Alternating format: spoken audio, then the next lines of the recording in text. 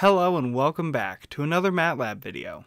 Today, we're talking about using MATLAB to automatically rename variables. A situation familiar to many MATLAB users is when multiple instances of a variable in a script need to be renamed.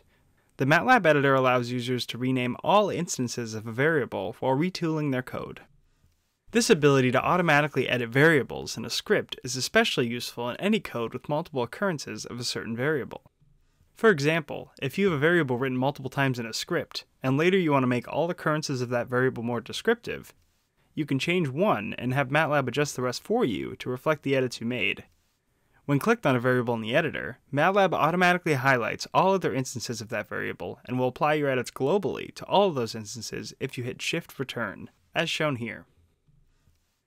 While this functionality has various uses, the ability to rename variables automatically only occurs if you adjust a variable on the left side of an equal sign. Adjusting a variable on the right side of an equal sign, or in a line without an equal sign, will only adjust that one variable instance. In this video, we have discussed the usefulness of using the MATLAB editor to rename variables automatically. Now that we have a deeper understanding of how renaming multiple instances of a variable simultaneously can increase the efficacy of optimizing a script, you will be able to write and optimize code more efficiently and fluidly. Thanks for watching, and I'll see you guys in another video.